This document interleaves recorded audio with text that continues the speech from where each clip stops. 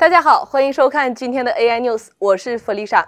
在跟空气握手、骑自行车摔倒、在舞台上迷路等等的迷惑行为之后，拜登的老年痴呆症又更上了一层楼，居然在活动现场开始找起了已经去世、不在人间的人。周三，白宫举办了一个活动，叫做 Hunger, Nutrition and Health，中文就是饥饿、营养和健康。那在这个会议上呢，拜登就发表讲话的时候，为了感谢两党的合作，促成了这个会议的成功举办，他当场在台上呼叫起了曾经帮助策划活动的众议员 Jackie Wolosky。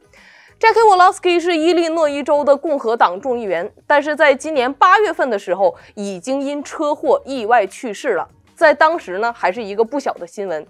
那么在去世一个多月后的今天。拜登还是在现场找起了他，Jackie，你在哪里呀？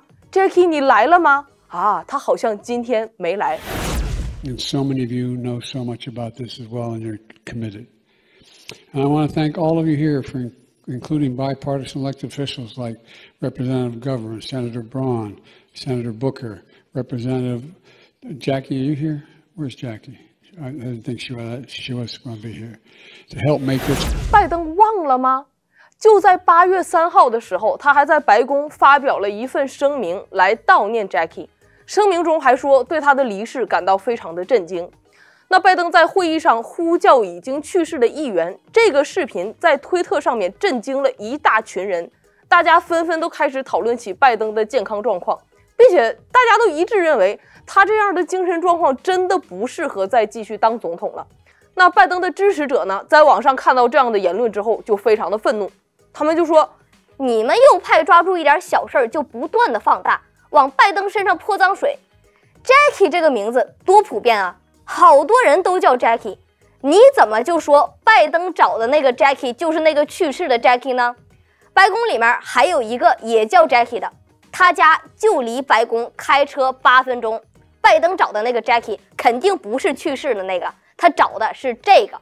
听完好像说的有点道理哈，因为毕竟。”车祸离世这种特殊的情况是非常非常特殊的，并不是每天都存在的。那拜登也不会很轻易的就忘记吧？而且的确挺多人都叫 Jackie。但是在这个时候，助攻选手上场了，那就是白宫的发言人 Jean Pierre。他的回答坚定的告诉所有人，不是拜登喊的那个，不是别的 Jackie，就是那个车祸去世的众议员 Jackie。What happened in the hunger event today? The president appeared to look around the room. For an audience member, a member of Congress who passed away last month. He seemed to indicate she might be in the room. What, so, what happened? So the president was, uh, as you all know, you guys were watching uh, today's event, a very important event on uh, food insecurity. The president was naming uh, the congressional champions on this issue and was acknowledging her incredible work. He had uh, he had already uh, planned to welcome the Congresswoman's family to the White House on Friday. There will be a, a bill signing in her honor this coming Friday.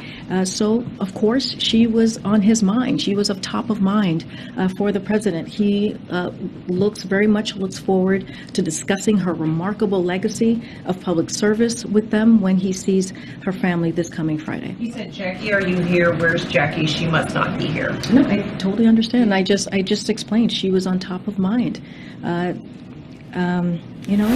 哎呀，因为 Jackie 的丰功伟绩呀，导致他一直不断的盘旋环绕在拜登的脑海里面。这什么解释？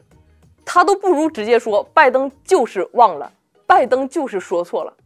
但是类似的事情呢，还发生过好多次。在今年，同样的故事在他嘴里面就出现了两个版本。七月份的时候，他在讲话里面说他有癌症。And because it was a four-lane highway that was accessible, my mother drove us, and rather than us be able to walk. And guess what? The first frost you know what was happening. It had to put on their windshield wipers to get literally the oil slick off the window. That's why I and so damn many other people I grew up have cancer. And why can't for the longest time, Delaware had the highest cancer rate in the nation. 对他讲这个故事里面是说他有癌症，没错吧？但是在今年四月份的时候，同样一个一模一样的故事，他说他有哮喘。And I we I went to a small little school that was about uh, a mile from the apartment complex we lived in. and a little school called Holy Rosary. And I, you couldn't walk to school because although it was a four-lane access highway, it was just too dangerous to cross some of the streets. And my mother would get in, the, and when it came spring, I mean, it came in the fall. This is the God's truth. And you get in the car, and a little frost on the window, turn on the windshield wiper, there'd be an oil slick. Not a joke. I have asthma, and 80% of the people who, in fact, we grew up with have asthma. 你能想象吗？这些东西都还是在社交媒体平台上面，而且是政府允许我们看的。那么他们不想让我们看的事情，到底还有多少呢？那对于即将到来的中期选举，民主党也是无所不用其极的，通过各种卑鄙的手段来赢得选票。之前我们曾经报道过的加州 AB 二二二三号法案，很不幸在本周二已经被纽森签署通过了。如果你忘记了这个法案是什么，那么就让我们一起来回忆一下这个史上最让人心惊胆战的将杀人合法化的 AB 二二二三。虽然。每一个关于合法堕胎的法案都是将杀人合法化，但是这个法案呢稍微有一些不同，因为很多时候呢，关于这个堕胎的争论都是在于说肚子里的婴儿到底是不是人而展开的。那很多支持堕胎的人所持的论调就是肚子里的孩子不算是人，所以是可以堕胎的。那这个 AB 二二二三号的法案是完全推翻这一个论述，因为它的出发点就是。允许杀害出生以后的婴儿，那这连最基本的争论点都已经超过了，因为这个法案里面说的就是已经出生了以后的孩子，按照他们的逻辑来讲哦，出生以后就是人了哦，但是人也是可以杀死的，而且不需要负任何法律责任的。在纽森的网站上面有一篇文章写了，在礼拜二这一天，纽森都签署了哪一些法案？这个法案呢，基本上都是与堕胎相关的。第一个签署的法案就是 AB 二二二三。那在这里呢，纽森对于 AB 二二二三的描述是这样说的：刑事和民事责任保护。AB 二二二三是由议员 Buffy Weeks 提出的，有助于确保怀孕损失不被定罪，禁止任何人因为流产、死胎。堕胎或者是宫内原因引起的围产期死亡而承担刑事或者民事责任。这里说的围产期死亡就是包含着已经生出来的孩子。那这一切的法案呢，都是一个谎言。一个妇女因为身体健康情况或者是意外流产了，这个人他会被定罪吗？一个妇女在医院生孩子，生出来之后发现是一个死胎。那这个妇女会被定罪吗？宫内原因引起的围产期死亡，什么叫宫内原因？比如说孩子早产、呃先天畸形啊、产道感染、心脏病、意外窒息等等等等。由于这样的原因引起的出生之后的孩子死亡，母亲会被定罪吗？这些全部都是彻底的谎言。这个法案只是在为了合法杀人找了许多莫名其妙而且根本就不存在的借口而已。那的确呢，是有一个案例涉及到了生出死胎之后被定罪的。这个是在二十多年前，一九九九年，有一个女性呢，她叫做 Regina McKnight，她住在南卡罗来纳州。她到医院去生产，生出来之后呢，发现是一个死胎，然后医生马上对产妇做了检查，结果发现她在怀孕期间一直吸食可卡因，导致了胎儿的死亡。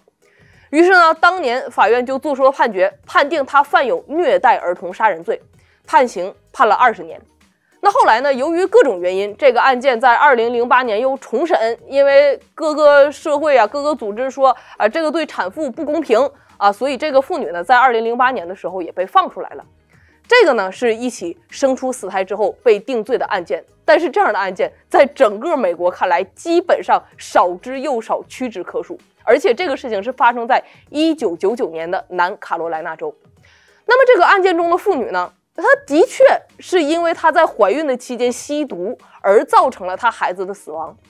一个怀孕的女人，她在吸毒的时候，他知不知道这个行为会有一定的风险，造成腹中的小孩死亡呢？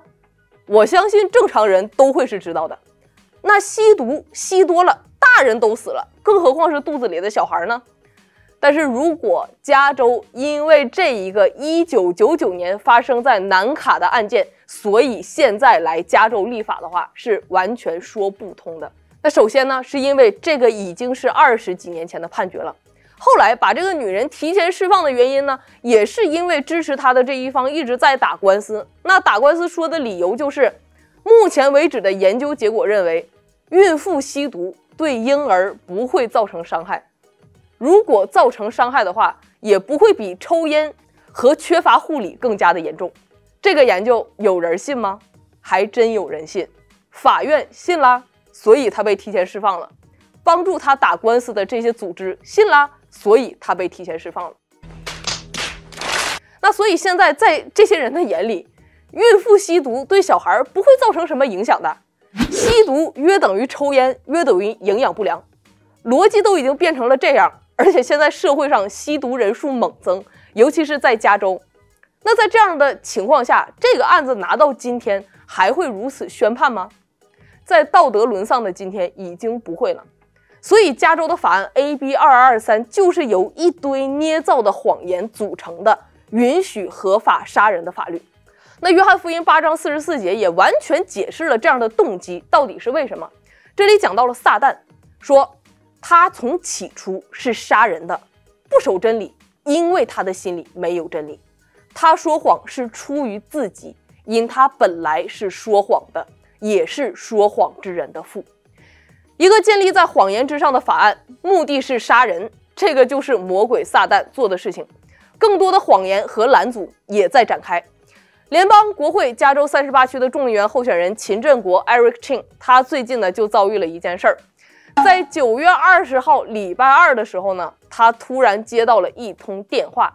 这个电话是洛杉矶县注册办公室打来的。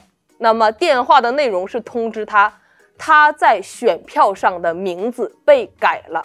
在中文版的选票上，他的名字不会被印成秦振国，而是会被印成。由加州州务卿根据他英文名字的发音给胡编乱造的一个中文名，叫做艾里克 J 成。这乍一看呢，这个名儿都是个乱码。艾里克 J 成跟秦振国八竿子打不着。这印选票上谁能看懂？谁能知道这个就是他呢？那么洛杉矶县的注册办公室打电话的目的，啊，就是通知他说，不但。洛杉矶县的选票上会这么印，城县的选票上也会这么印。于是，在接到这个电话之后，秦振国的团队就花了一天半的时间，与洛杉矶县的登记官、城县的登记官以及州务卿合作，想要把名字纠正回来，但是毫无结果。于是，在九月二十二号，实在没有办法，就发起了法律诉讼。那么，最终呢，在九月二十七号的礼拜一，与总检察长的办公室达成了协议。法官做出了有利于秦志国团队的裁决。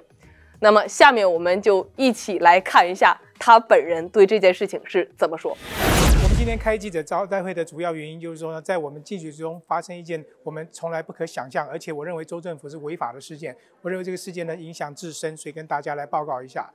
上个礼拜二呢，我们收到了一封电话，一通电话是从那个县的那个 Recorder's Office 啊打来的。他说我们的中文名字呢，在选票上的中文名字。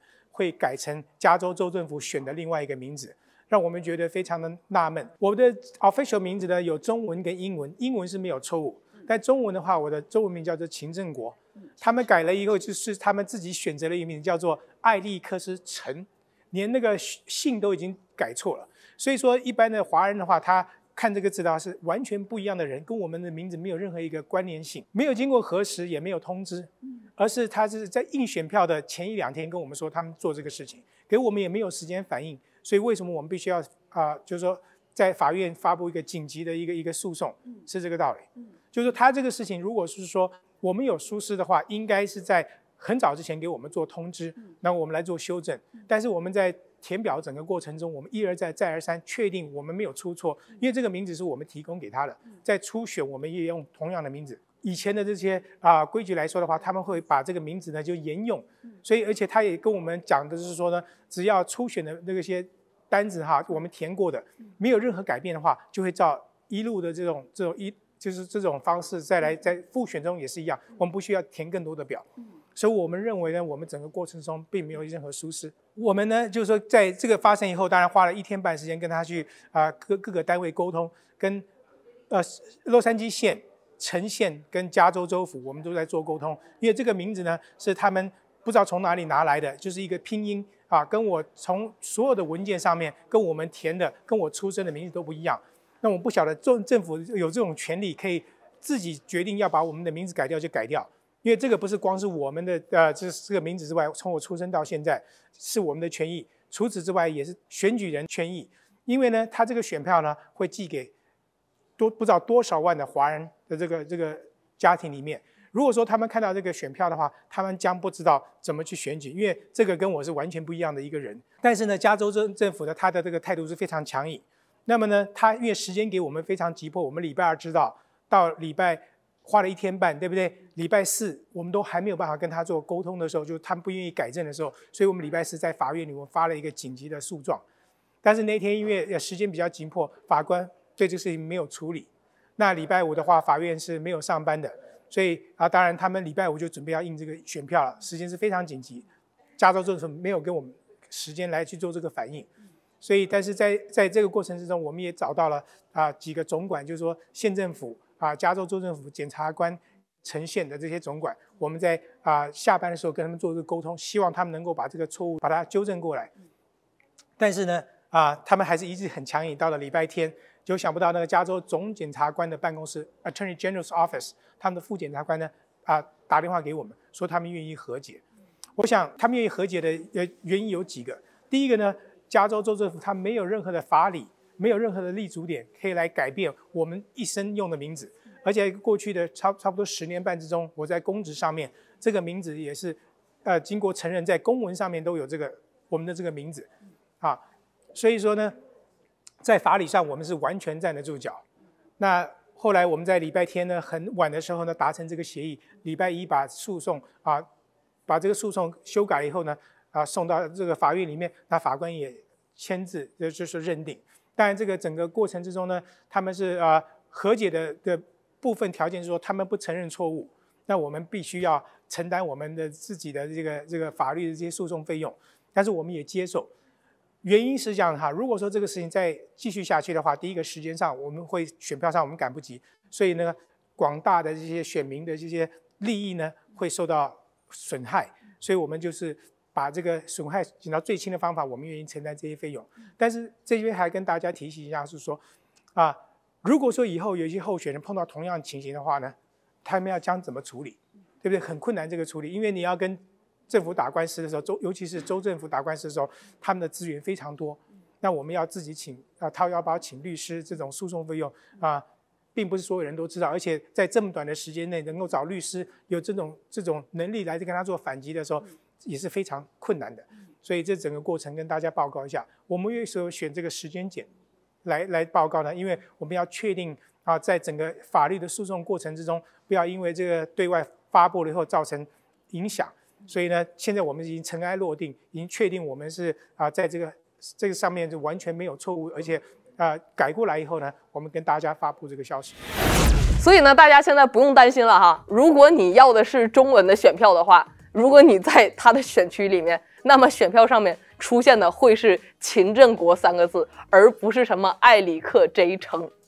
那这件事情呢，听起来非常非常的不可思议，很难想象民主党竟然会用这么无耻、无赖、幼稚而且莫名其妙的方式去攻击一个候选人。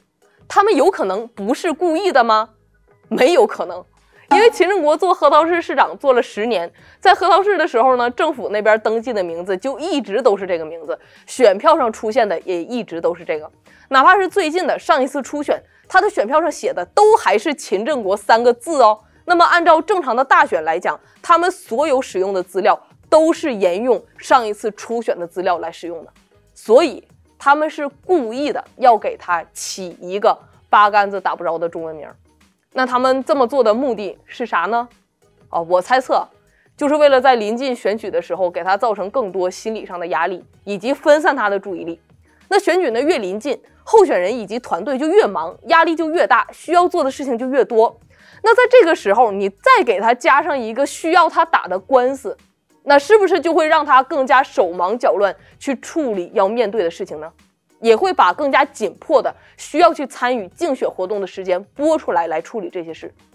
要知道，秦正国呢，在这一次是非常强劲的候选人。他多年在核桃市做市长的成绩，以及他根基稳固的基督信仰，他在社区中的知名度是很高的。而且他的中文名在华人群体里面是非常有辨识度的。加州恶意篡改他的中文名，如果到了你投票的时候，你本来打算投给秦正国。但是你看到选票上写的是艾里克 J 城，你会觉得这个人是秦振国吗？就算你去投票站，你当天去投票，你问那些工作人员，也不会有人知道的。所以这件事情真的是让我感觉到大开眼界，不知道还有什么事儿是他们做不出来的。为了拦阻这些候选人当选，手段真是无所不用其极呀。那么相信你看了今天的新闻。这一切都更加清晰明朗，仇敌在政府还有立法部门所做的工作，这个也是需要更多基督徒起来征战的时候。不要继续充耳不闻，好像当做什么事儿都没有发生。你可以用你的选票说话，你可以告诉你的亲朋好友，不要再投票给这些杀人流血的政客，而是要投票给那些真正爱神、遵行圣经价值观、单单敬畏神、不怕黑暗势力的候选人。你可以用你的祷告来征战，因为我们知道。这是一场属灵的战争，最有力的武器就在基督徒的手里，那就是你的祷告。呼吁大家，从明天开始，九月三十号到十一月八号，欢迎你一起来加入，为我们的国家、政府、州以及即将到来的中期选举进行的四十天禁食祷告。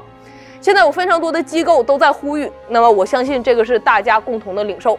以赛亚书五十八章这里面讲到，真正的进食带来的结果。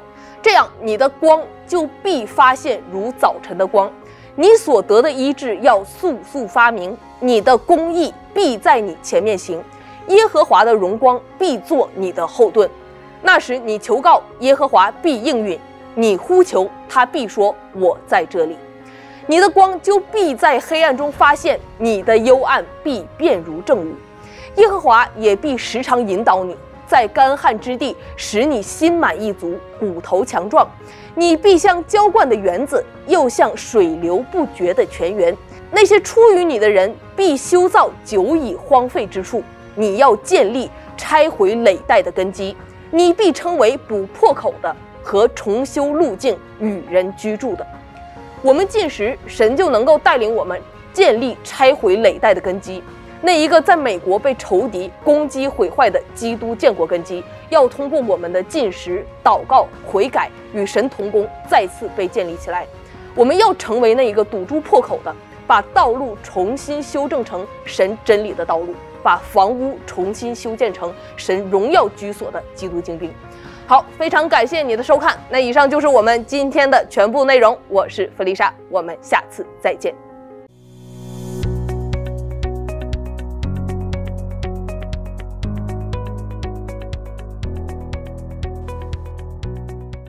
各位主内家人们，大家好，我是周一芳牧师，很高兴我们身处这个时代，可以一同走入虚拟世界进行冒险。相信接下来的系列课程既会适合入门者，也会开启前瞻性的发展路径。即将探究相关神学，也将令您感到新鲜有趣。既要一窥元宇宙轮廓。也要分享基本具体技术，我们在此诚恳地邀请您的参与，到时候见喽！课程日期及报名资讯，请见以下。